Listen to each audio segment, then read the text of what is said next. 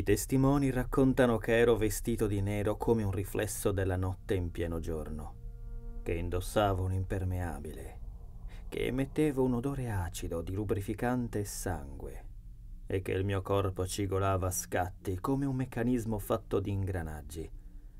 Ma dicono anche che non sono stati il mio aspetto fisico e il muso sfregiato come se un tempo avessi avuto un becco al posto della bocca a colpirli, quanto il mio strano modo di parlare, nudo, affilato come una munizione, più duro e freddo del rame ossidato, con una voce lugubre e triste, che a loro dire sembrava conoscere anche l'altro lato delle cose.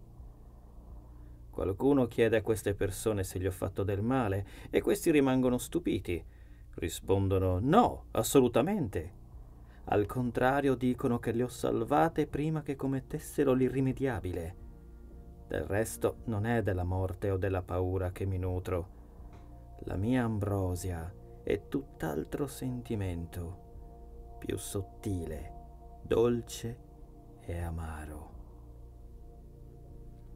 È diventato facile trovare cuori fertili dove farlo crescere e col tempo ho capito come maturarlo nel migliore dei modi, come un frutto prezioso. Ho imparato ad alimentarlo, a renderlo più profondo e succoso. Oh, quell'incredibile stato d'animo distorto e masochista. Patetico per chi al momento non lo prova, disperazione in fondo al baratro per chi ne è coinvolto. Pensate che quelle persone siano delle sciocche, che voi non sareste mai caduti in un tranello così evidente? Allora vi chiedo, siete mai rimasti feriti da una storia e giurato che non avreste mai più voluto bene a nessuno? Un'amicizia o un amore fallito, finito male per caso? Riuscite a ricordare le notti passate, a distrigare il groviglio di tentacoli negli acidi del vostro stomaco fatto di rimorso e senso di colpa? L'insonnia, la solitudine, le bugie a voi stessi, i conflitti e quella delusione che apre gli occhi e chiude il cuore al mondo, anche a chi non vi ha fatto niente. Ecco, è proprio quello il nettare che cerco. Non dimenticate mai che voi, per un Dio, non siete altro che bambole di pezza. Se solo vi regalassimo un pezzettino di vita, probabilmente iniziereste addirittura a vivere Chissà, forse imparereste anche a non dire tutto ciò che pensate, ma perlomeno a pensare tutto quello che dite. Magari capireste anche che le cose contano non per quanto valgono, ma per quel che rappresentano. Dormireste poco, sognereste di più. Vi rendereste conto che ogni volta che chiudete gli occhi, anche solo per un misero minuto, perdete 60 secondi di vita, proprio così perché noi demoni ci muoviamo quando voi vi fermate e ci svegliamo mentre voi dormite? Per nutrirci di voi. Per farvi un esempio, conoscete il sanscrito? Nei Veda indiani la traslitterazione più corretta della parola Dio è il grande burattinaio o colui che tiene i fili dell'universo. Ma non dicono che in certe situazioni a reggere i fili ci sono anche altre entità, molto più equivoche e ambigue, tipo me. Il meglio che può capitarvi è che i vostri figli siano mossi da un demone della luce, che si nutre di buone intenzioni e sentimenti chiari. Ma ragionateci su per un solo momento. Se questo essere si stufasse di voi, quanto tempo ci impiegherebbe a trasformarvi da marionette a impiccati? Non pensate sarebbe un gesto estremamente semplice? D'altronde, la corda al vostro collo c'è già. Ora capite di cosa mi nutro?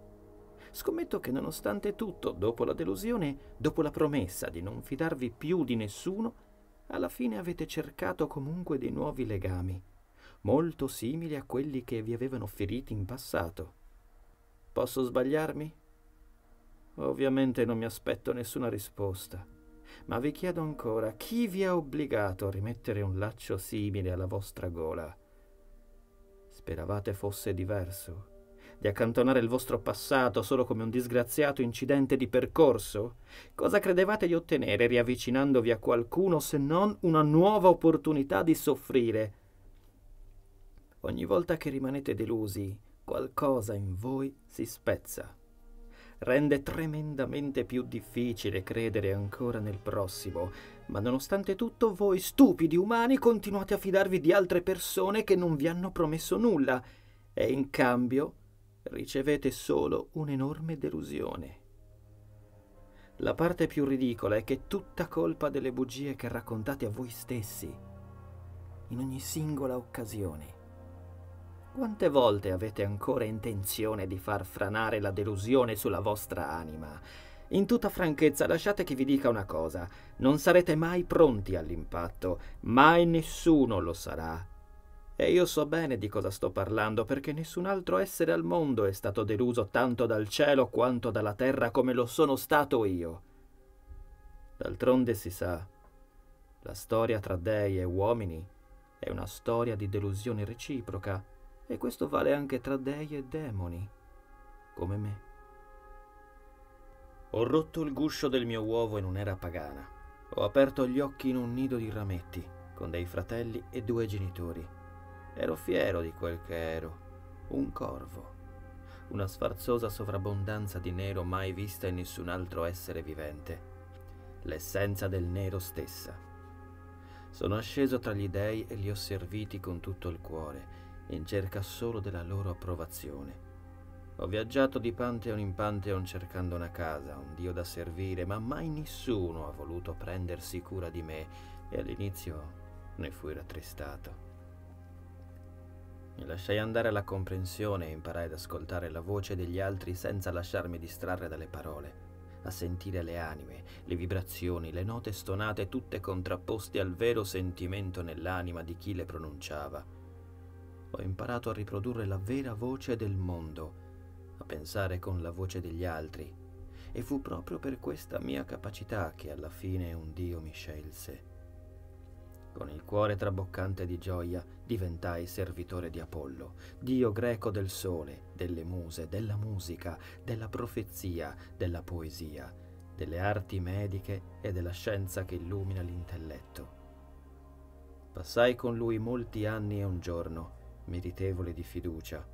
Apollo, innamorato di Coronide, mi incaricò di sorvegliarla per tutto il tempo in cui lui si sarebbe allontanato. Ahimè, durante la sua assenza, Coronide si lasciò amare dal giovane Ischi e mio ingrato compito fu quello di riferire il tradimento. Apollo trafisse il cuore della giovane con una freccia, ma prima di morire Coronide gli rivelò di essere incinta di suo figlio e che per via della sua collera il bambino sarebbe morto con lei. Pentito del gesto, Apollo tentò di riportarla in vita e mi ordinò di svuotare il ventre dell'amata scavando con artigli e becco tra il sangue e le viscere per salvare il bambino. Feci nascere Asclepio e pensai di aver servito bene il mio Signore. Ero certo della sua gratitudine, invece Apollo mi maledì coprendo le mie spalle con l'aura portatrice di cattivi presagi che tutti voi oggi conoscete e porto dietro da tutta la vita. Triste, vero? Fui etichettato come spia, istigatore di morte, senza vergogna, impudente, arrogante, corrotto ed egoista per aver goduto della disgrazia altrui alla fine, senza che io potessi farci niente, la morte di quella povera ragazza era ricaduta su di me. Deluso e con il cuore in pezzi lasciai l'Olimpo e trascinai sul continente la mia triste fama di portatore di sventura. Servì la dea celtica Morrigan. Raccolsi per lei le anime dei morti dai campi di battaglia. Lavai i suoi panni sporchi di sangue al fiume e infine andai ancora più a nord verso l'Asgard. Lì trovai altri due corvi, Ugin e Munnin, pensiero e memoria, fedeli servi di Odino. Ogni giorno volavano sul mondo per ritornare sulle spalle del dio la sera e sussurrare al suo orecchio tutti i segreti e le informazioni sottratti a nemici e amici nel tempo della giornata. Li invidiai. Provai davvero a diventare un loro compagno con tutte le mie forze e arrivai a umiliarmi, svolgendo i compiti più ingrati, per ringraziarmi Odino, ma, ahimè, nemmeno il padre degli dei nordici risultò insensibile alla maledizione di Apollo. Fui ripudiato ancora una volta e per il folklore divenni il demone Valravn, divoratore di occhi, collezionista di cuori spezzati e corruttore di anime nel ghiaccio. Quando il veleno del cristianesimo infettò quel regno, i preti iniziarono ad attingere a piene mani dalle dicerie e in poco tempo mi incolparono addirittura di essere stato mentore di Caino, di averlo indotto ad assassinare il fratello Abele e di avergli insegnato a scavare la terra per nascondere il cadavere, attirando su di me altro odio ancora. Fu la goccia che fece traboccare il vaso Superai il limite di sopportazione e, come se in quel momento fosse una scelta molto logica, lanciai un ultimatum al cielo con tutto il coraggio di cui ero capace. Volai sopra l'oceano, all'interno di una tempesta, per dimostrare il mio valore, e quando il vento ghiacciò i muscoli sul mio petto, la disperazione più nera si spalancò nel profondo della mia anima. Davvero nessun Dio mi aveva visto? No, Impossibile. Rifiutai un'idea così assurda e governato dall'emozione mi forai la cassa toracica con il becco. Strappai le nere piume di cui ero fiero. Lacerai la carne e nella foga ingoiai accidentalmente il mio stesso sangue finché, con gli artigli, riuscii a spezzare le costole e strapparmi l'organo della vita con tutta la rabbia di cui ero capace. Lo alzai al cielo. Offrii il cuore a chiunque avesse riconosciuto il mio valore e gridai tutto il mio orgoglio. Sì, pensai. Adesso, dopo questa dimostrazione, gli dei mi chiameranno, mi offriranno un posto tra loro e non mi schiveranno mai più, né mi incolperanno di mala sorte. Chi mai prima di me ha compiuto un atto di tale coraggio? Mentre attendevo, il silenzio che seguì distrusse tutte le mie difese lasciandomi disarmato. Mi sentii ridicolo, incapace di sopravvivere. E quando realizzai la stupidità del mio gesto, chiusi gli occhi e mi lasciai precipitare dal cielo al mare verso una morte certa, rassegnato e deluso. Il cuore nella mia zampa pulsò e a un primo sguardo distratto vidi una piccola fessura tra i due ventricoli, come un taglio. Aprì gli occhi e riconobbi una bocca, con una piccola lingua per scandire lettere e labbra per pronunciare parole. Ancora non hai capito, mi disse il cuore. La vita, la tua, come quella degli altri, non è altro che una lunga preparazione per qualcosa che non succederà mai.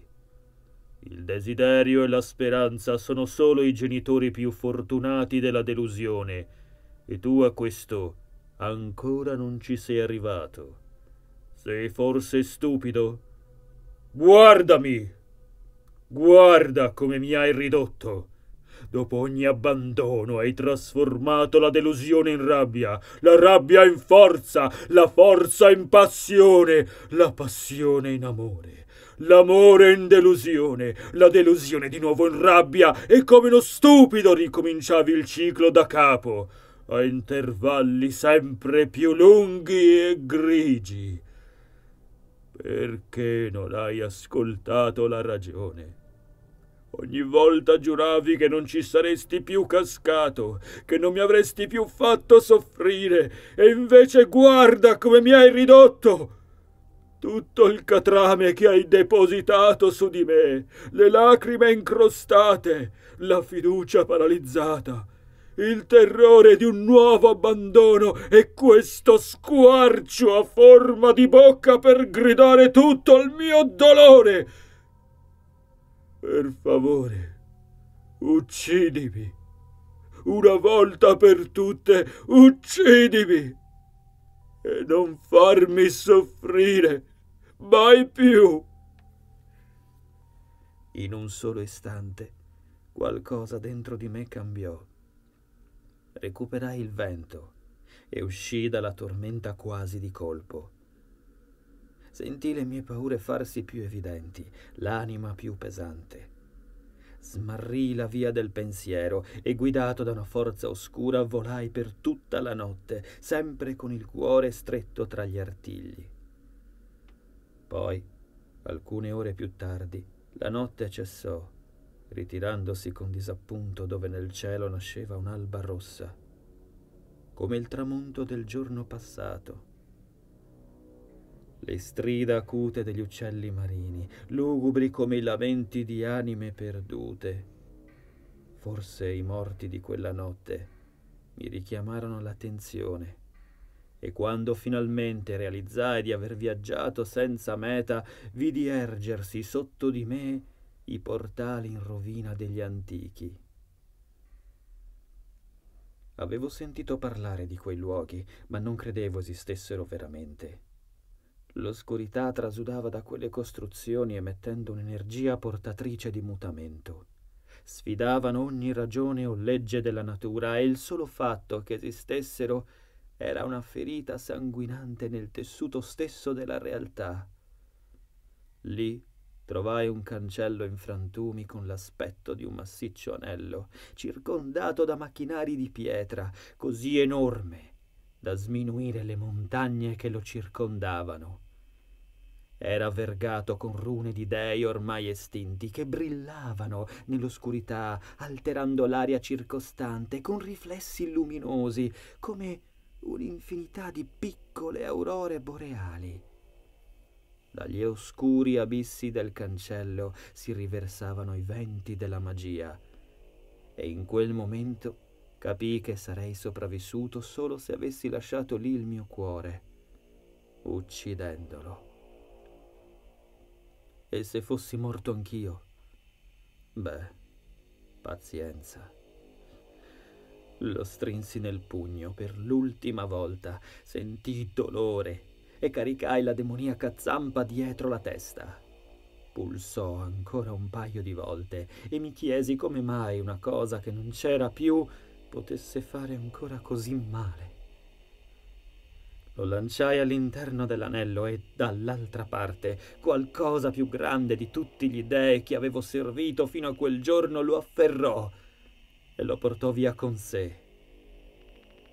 Che senso ha quel che è appena successo? mi domandai. Chi era il dio nell'anello, signore del caos? Come mai ha preso il mio cuore? Dove lo ha portato? Perché non sono morto?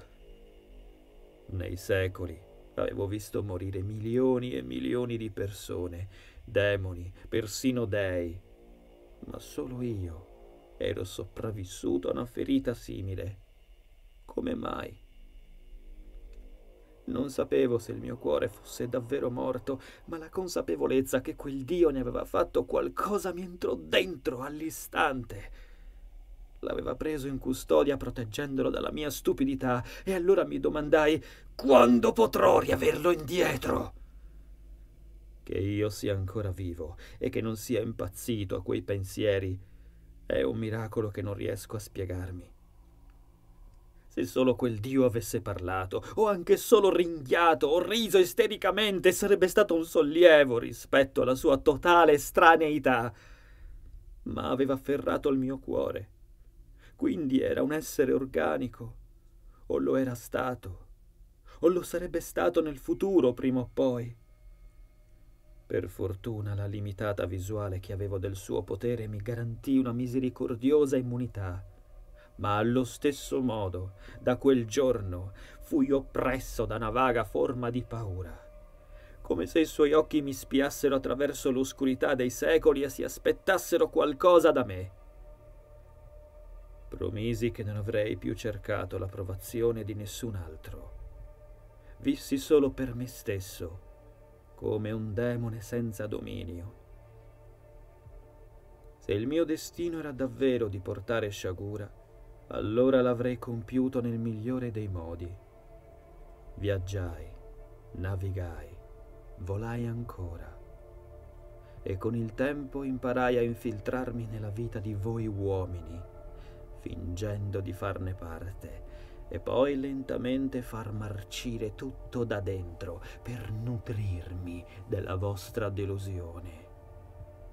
Ho imparato ad osservarvi, a riconoscere l'odio per chi amavate nei vostri occhi, ben mascherato dietro modi cortesi.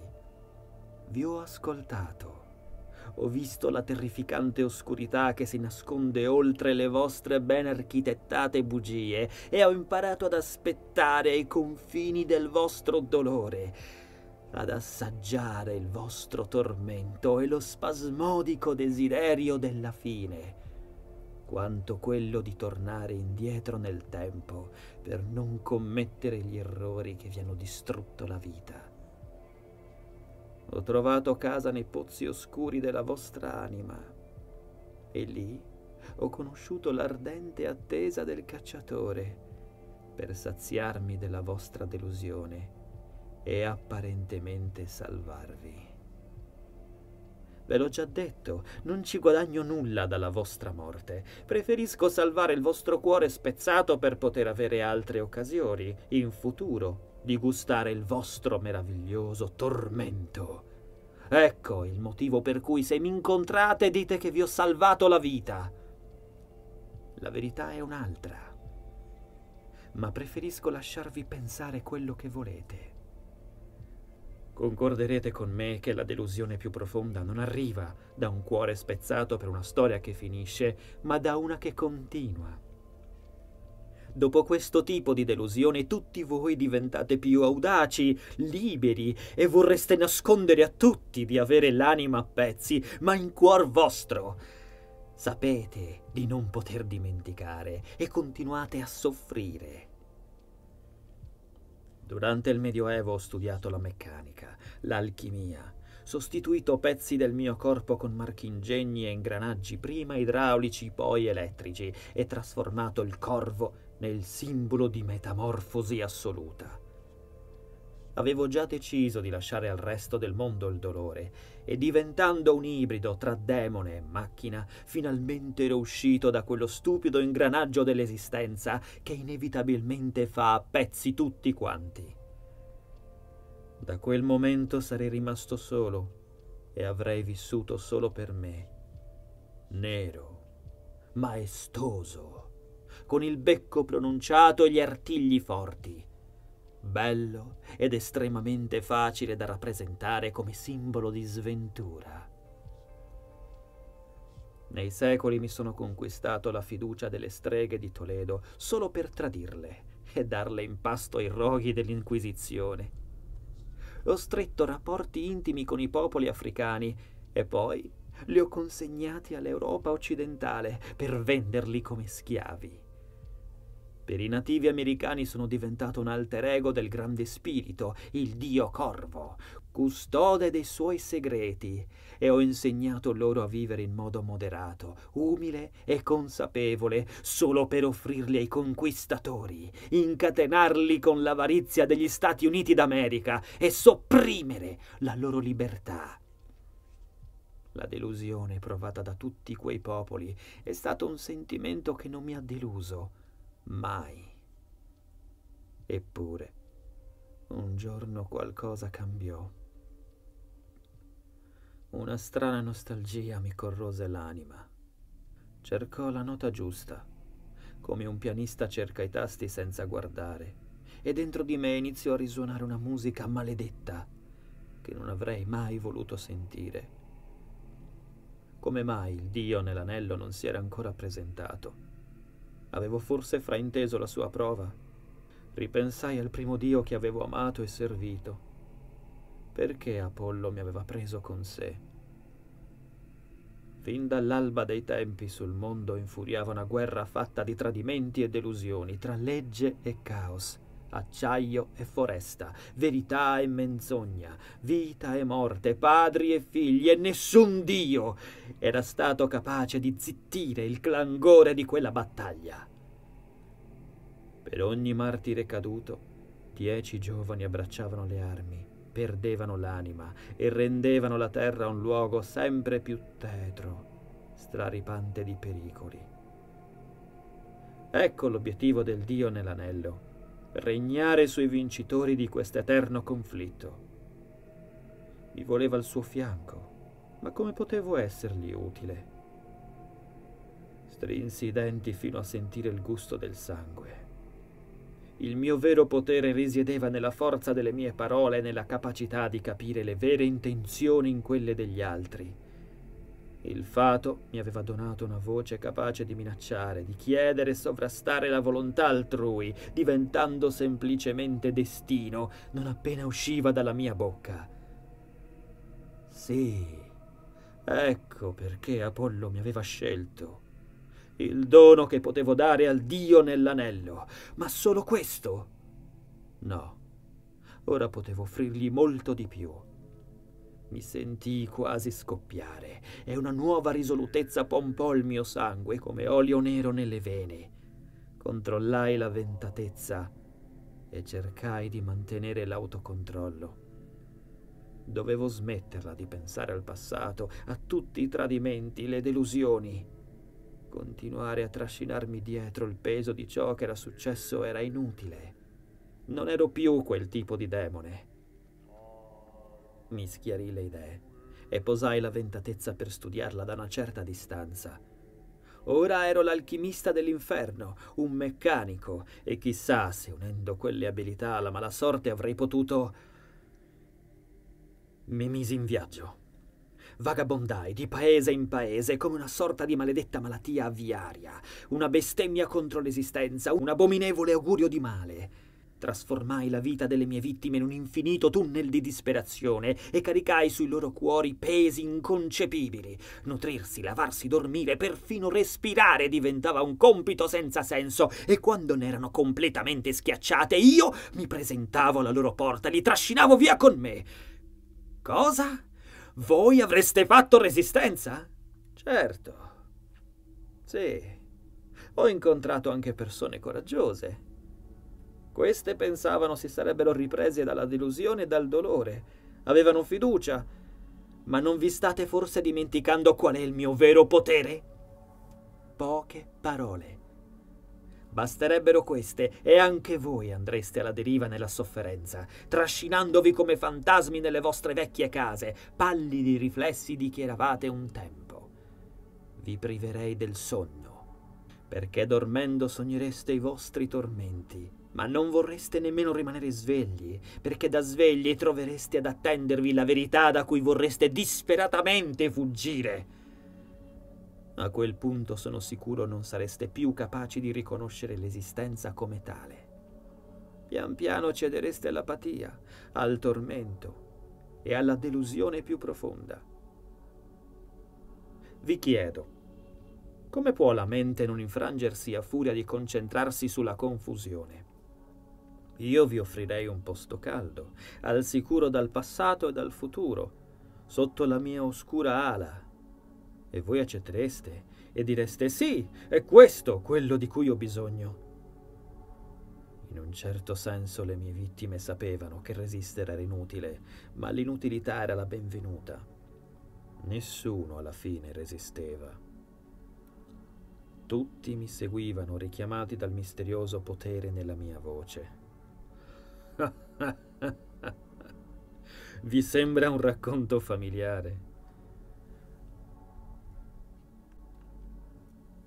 Beh, quali pensate siano state le fonti dei fratelli Grimm per buttare giù la macabra storia del pifferaio di Hamlin? Con il mio potere conduco le vostre menti in un labirinto che distorce percezione e pensieri. Un rifugio nascosto, un reticolo di barriere cerebrali a difesa da tutto e tutti e le proteggo per sempre. Dopo l'epidemia di tubercolosi, che si concluse con la chiusura del sanatorio di Waverly Hills a Louisville, negli Stati Uniti, con 65.000 vittime solo in quel luogo, stabilì nei suoi sotterranei la mia nuova infernale officina e la trasformai in una vera e propria fabbrica di deformità. In che modo, mi chiedete? Ogni atto di creazione artistica è prima di tutto un atto di distruzione su se stessi. Con un bisturi eliminai le parti superficiali dei miei occhi e le sostituì con lenti capaci di vedere lontanissimo, integrare scritte in realtà aumentata, applicare filtri e addirittura memorizzare immagini. Asportai il mio apparato uditivo e saldai al cranio una serie di microfoni capaci di distinguere la voce di una sola persona a chilometri di distanza. Sostituii gran parte delle ossa con altre in lega di titanio e infine eliminai anche gomiti, polsi, cavigli e ginocchia, scambiandoli con giunti di acciaio inossidabile per rendere solidali tra loro le estremità degli arti. Al posto del naso installai dei filtri contro ogni tipo di impurità e in gola feci scorrere due tubi. Uno per nutrirmi collegato allo stomaco e uno per respirare collegato ai polmoni, così che potessi parlare e mangiare contemporaneamente. Eliminai il mio apparato digerente, quello respiratorio, quello circolatorio e tenni solamente quello nervoso come collegamento sinaptico per coordinare tutte le mie parti. Infine, come ultimo ritocco, staccai il becco dall'osso e lo nascosi dentro al cranio con delle viti, rendendolo retrattile come gli artigli di un gatto per mostrarlo solo all'occorrenza. Bruciai e distrussi tutti i miei concetti e li sostituì con nuove blasfeme idee, facendo scendere quelle utopie meccaniche dalla testa per partorirle con le mani e con il cuore. Già, proprio lui, il cuore. Anche se distanti, sentivo comunque la sua voce. Mi suggeriva di estendere i miei esperimenti anche su di voi, le mie vittime umane di trasformarvi in un esercito e donarvi al Dio nell'anello perché facesse di voi quel che più gli aggradava.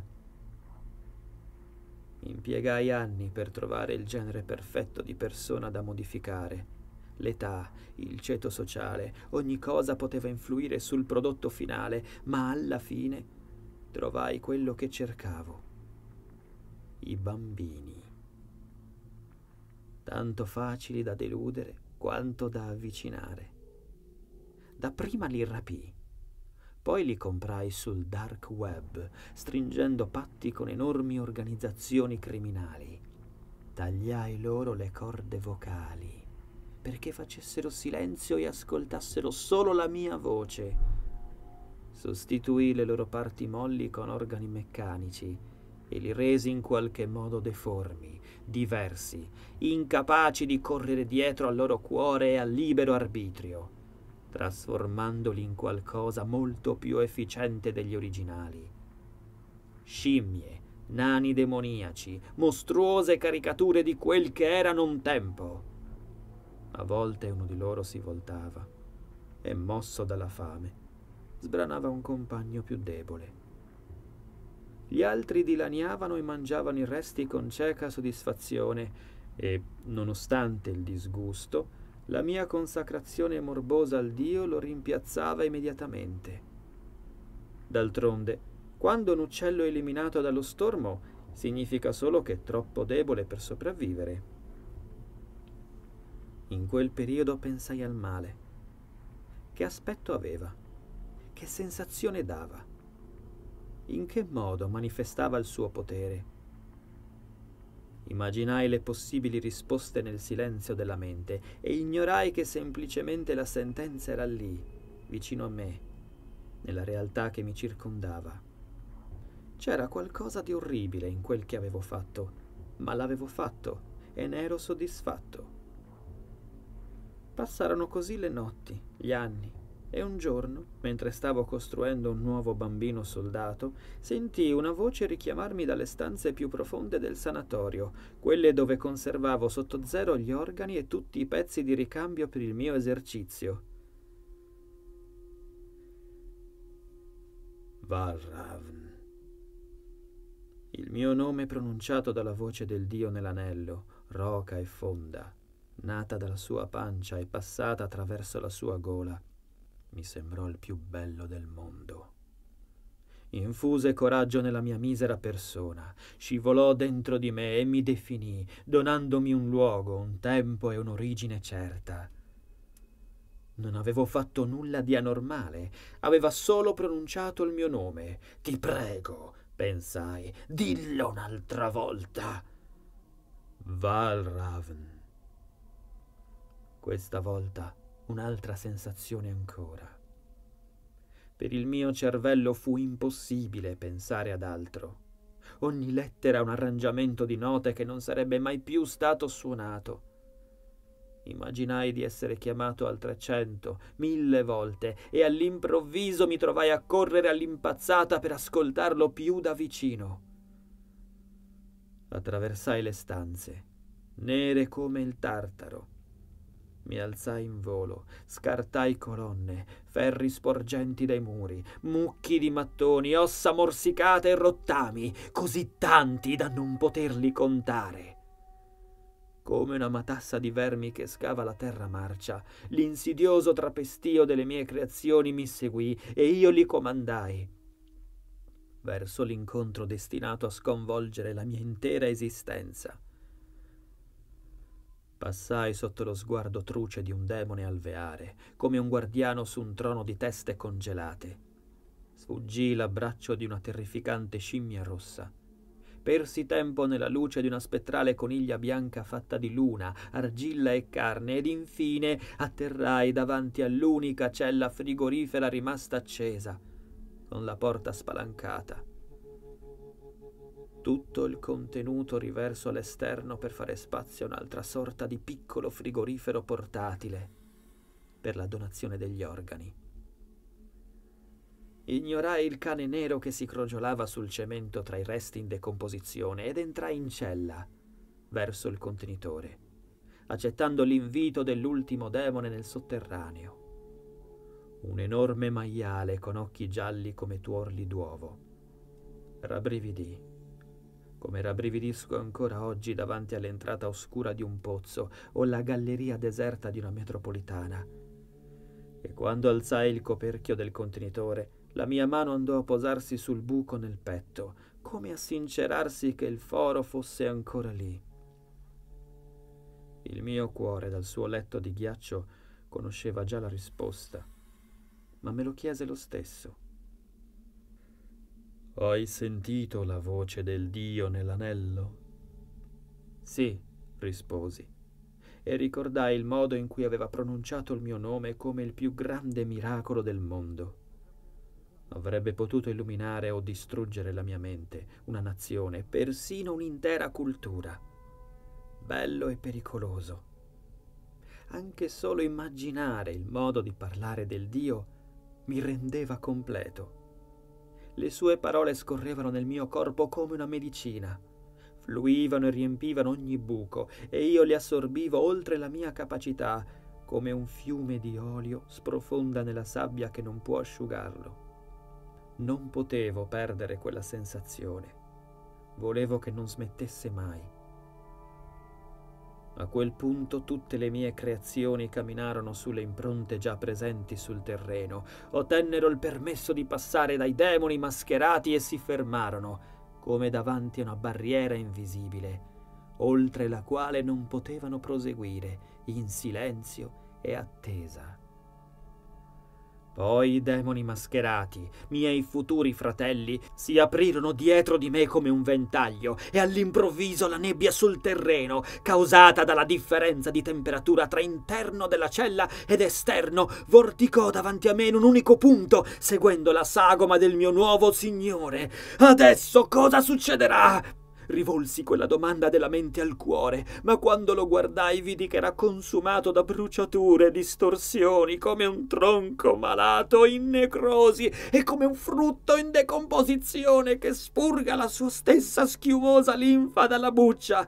Richiamai il becco per gridare piansi e un brivido elettrico mi scosse dalla testa ai piedi come un prurito in punta alle dita, un cortocircuito generale del mio corpo e alla fine di un dolore lancinante improvviso dentro il petto. Da una piccola escrescenza come un tumore il mio cuore ricrebbe, spingendo l'aria all'esterno. Le costole guarirono da dove le avevo segate e i muscoli del petto le ricoprirono con un rumore di carne macinata. La pelle, le piume, il cuore, tutto tornò al suo posto come un tempo, mille volte più coraggioso, mille volte più fiero e implacabile. Il dolore cessò quasi di colpo, lasciandomi una sensazione pulsante dietro la testa. Disarmato, ma senza paura. Nel silenzio i miei nuovi fratelli si congratularono con me per il mio viaggio di ritorno dall'inferno e il Dio dell'anello parlò, calmando la mia tempesta con la sua voce. Valravn, tu sei l'ultimo dei primi sei.